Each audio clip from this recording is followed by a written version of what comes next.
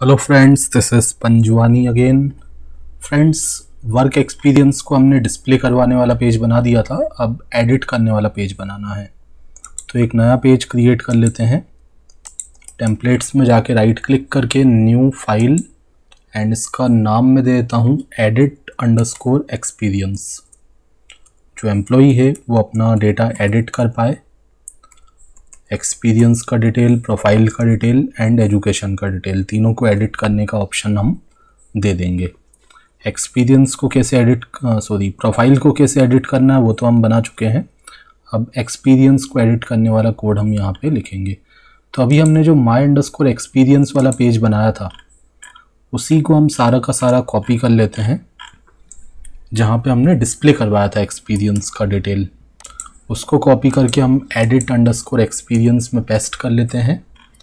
And सबसे पहले तो यहाँ पे इसका हेड एंकर टेग में लिंक बदल देंगे एंड हेडिंग में भी लिंक बदल देंगे।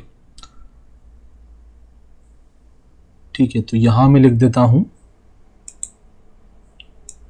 Edit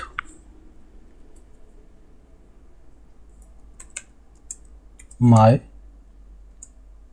work experience edit my या फिर एडिट एक्सपीरियंस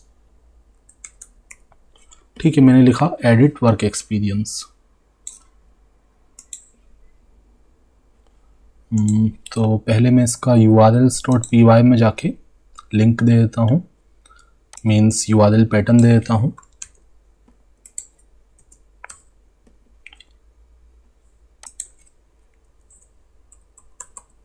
तो यहाँ मैंने लिखा एडिट अंडरस्कोर एक्सपीरियंस और इसी नाम का बनाएँगे फ़ंक्शन एडिट अंडरस्कोर एक्सपीरियंस और यू आर एल पैटर्न का नाम भी रख देते हैं edit underscore experience views dot P Y में जाते हैं और एक फ़ंक्शन क्रिएट कर लेते हैं.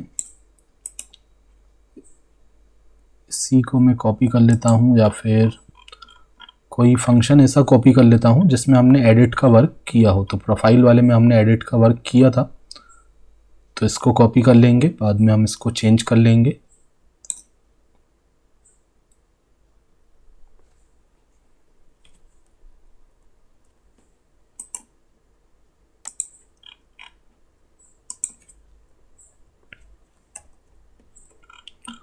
ठीक है तो फ़ंक्शन का नाम मैं चेंज कर देता हूँ edit underscore experience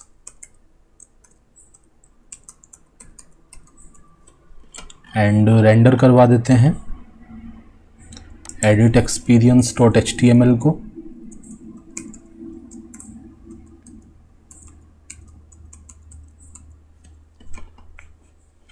ठीक है, और इसका लिंक हम दे देंगे माई एक्सपीरियंस वाले पेज में। यहाँ पे जो एंकर टेक बनाया था, वहाँ दे देंगे। एंड जो हमारा साइड बार था एम्प्लॉई बेस वाले पेज में, वहाँ भी दे देंगे। तो यहाँ मैंने लिखा एडिट अंडरस्कोर एक्सपीरियंस ठीक है एम्प्लॉय बेस के अंदर भी यही लिंक देना है।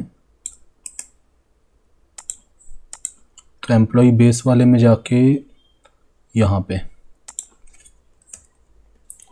एडिट अंडरस्कोर एक्सपीरियंस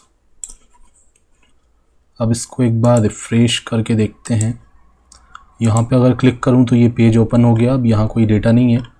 अब यहाँ पे हमें एक्चुअली डेटा नहीं, यहाँ पे टेक्स्ट बॉक्स बनाने हैं।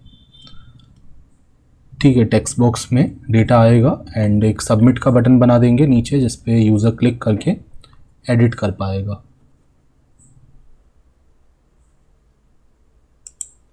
ठीक है, और ये जो ऊपर हमने हाइपर लिंक दिया है, यहाँ पे चाहे तो हम क्या दे सकते हैं कि यूज़र अगर देखना चाहे अपने एक्सपीरियंस को तो उस पेज पे हम रिटर्न करवा सकते हैं। तो आते हैं यहाँ पे, और यहाँ पे मैं लिख देता हूँ व्यू माय वर्क एक्सपीरियंस ठीक है? एडिट वाले में मैंने बता दिया व्यू माय वर्क एक्सपीरियंस और यहाँ पे यू पैटर्न दे देंगे। यहाँ पे क्या आ जाएगा? माई एक्सपीरियंस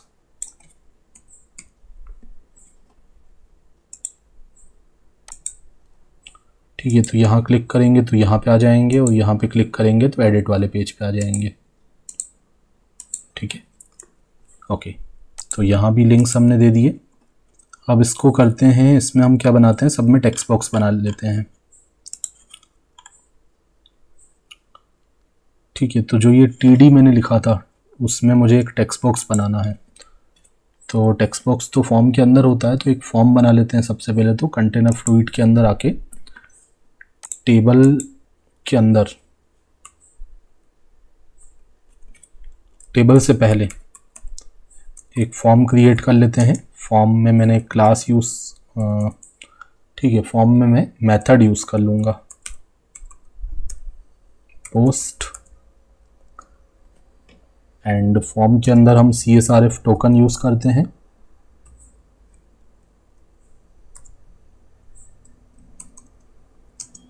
तो यहाँ पे लगाया C S R F token and last में हम इसको क्लोज कर देते हैं।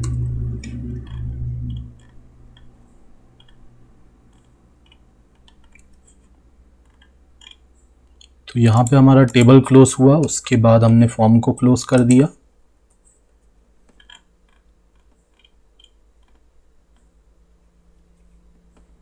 ठीक है, और यहाँ पे हम टेक्स्ट बॉक्स बना देंगे। Input type equal to text and इसका मैंने नाम दे दिया। इसका नाम मैं दे देता हूँ कंपनी वन नेम ठीक है तो वही नाम मैंने दे दिया है जो मॉडल में नाम दिया था। अलग नाम भी आप दे सकते हैं बट काफ़ी सारी फील्ड्स हैं तो कन्फ्यूज़न ना हो तो वही मैंने नाम दे दिया। लेकिन स्पेलिंग मिस्टेक कर दी है company okay company one name and ये जो आएगा डेटा वो कहाँ पे आएगा? वो वैल्यू में आएगा। वैल्यू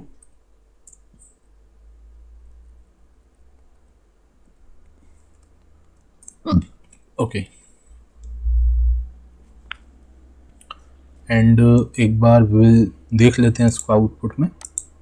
तो ये टेक्स्ट बॉक्स आ गया। इसको चाहते हैं फुल विथ का आ जाए ये।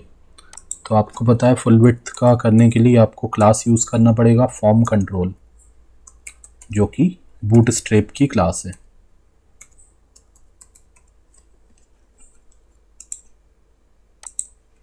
ठीक है? अब इसके अंदर डेटा भी तो आना चाहिए डेटा तो आ नहीं था तो यहाँ पे जाके देखते हैं क्या करना। अब दो तरीके हैं।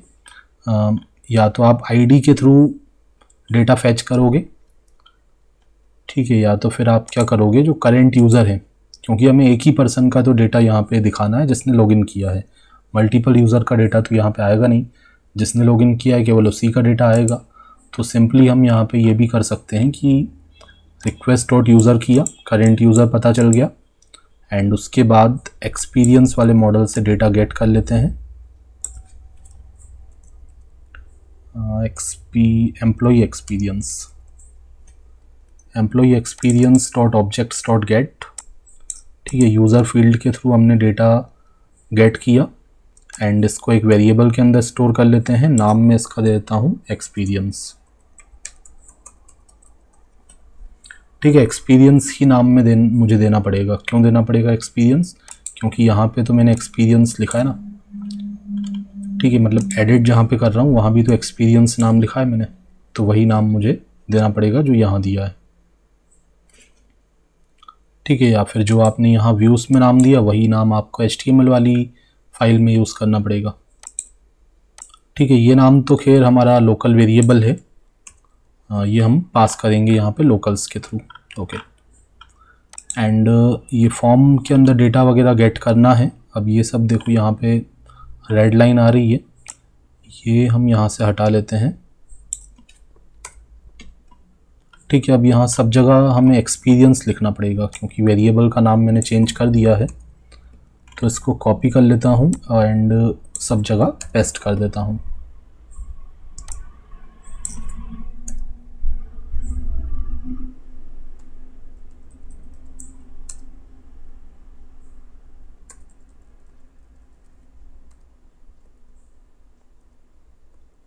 ठीक है, अभी काफ़ी सारे चेंजेस यहाँ पे करने पड़ेंगे।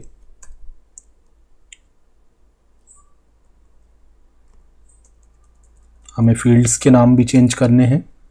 एंड डेटा गेट भी करना है फॉर्म का, फिर उसको सेव करवाना है। मीन्स अपडेट करवाना है। तो यहाँ पे employ dot user dot save लिखने की तो ज़रूरत नहीं है, क्योंकि केवल हमें एक्सपीरियंस वाले मॉडल में से चेंजेस करवाना है। Okay okay. ओके तो अब आई थिंक वहाँ पे मुझे कंपनी का नाम दिखना चाहिए। ठीक है तो सब में नन आ रहा है। ठीक है। अब सभी में टेक्स्ट बॉक्स लगा देंगे। तो मैं क्या करता हूँ, ये जो टेक्स्ट बॉक्स बनाया था, इसको कॉपी कर लेता हूँ यहाँ तक। ठीक है, इतना कॉपी किया, इतना मैं सभी में लगा दूँगा।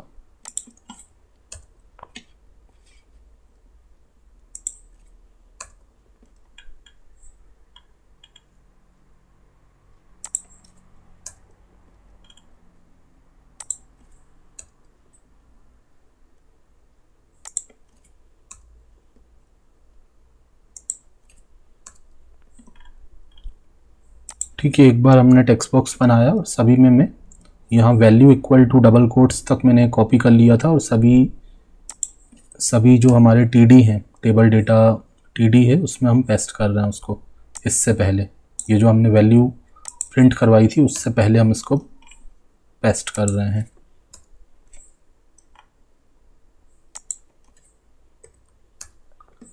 ठीक है बट अभी यहाँ पे काफ़ी सारी प्रॉब्लम है क्योंकि हमने इनपुट टाइप को क्लोज नहीं किया है। तो इतना और कॉपी कर लेते हैं। इतना पार्ट आई थिंक ठीक है, ये इनपुट टेक हमारा यहाँ से स्टार्ट हुआ। हाँ इतना हमें कॉपी करना पड़ेगा क्लोज करने के लिए। और उसके बाद हमारा, ये हमारा इनपुट टाइप वाला टेक क्लोज हुआ। इनपुट टेक क्लोज हुआ, उसके बाद टीडी क्लोज हुआ।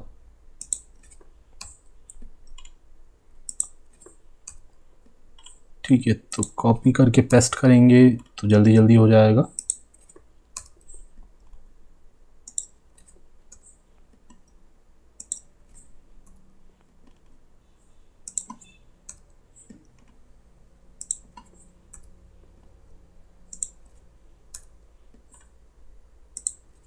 ठीक है तो आई थिंक सभी जगह पे हो चुका है। अब रिफ्रेश करके पेस्ट करते हैं। तो सभी में आप देखो टेक्स्ट बॉक्स आ गया तो काफ़ी इजीली हमारा वर्क हो गया। एंड अब हम चाहते हैं यूज़र यहाँ पे जो भी चेंज करेगा, इस नन को हटा के जो भी फिल करेगा एंड एक सबमिट का बटन दे देंगे। ठीक है सबमिट का बटन तो मैं बना ही देता हूँ। तो सबमिट पे क्लिक करते ही जो जो चेंजेस किए, वो हमें फॉर्म का डेटा गेट करना है अपडेटेड वाले डेटा को एंड अपडेट करवाना है।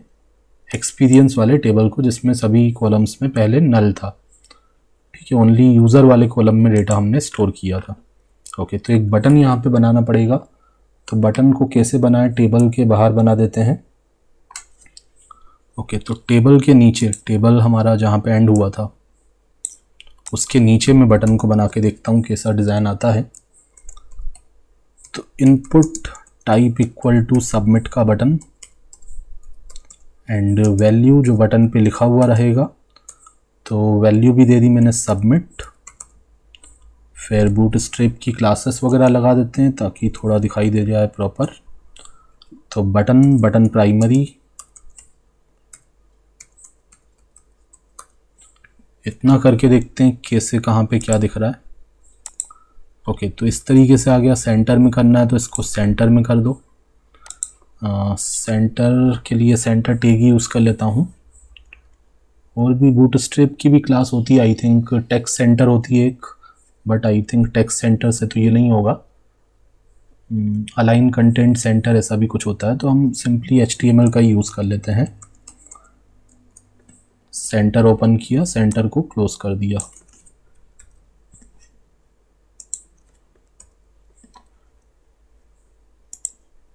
ठीक है एंड आपको मार्जिन वगैरह देना हो पैडिंग देना हो तो वो आप दे सकते हैं। ऊपर से मैं चाहता हूँ कुछ मार्जिन आ जाए तो मार्जिन दे दिया मैंने टू एंड मार्जिन देने के बाद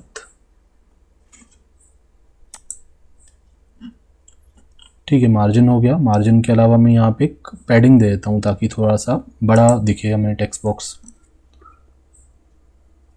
तो पैडिंग एक्स थ्री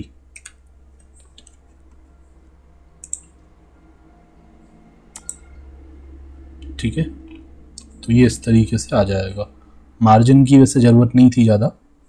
मार्जिन को कम भी कर सकते हैं, हटा सकते हैं। पहले भी प्रॉपर ही आ रहा था।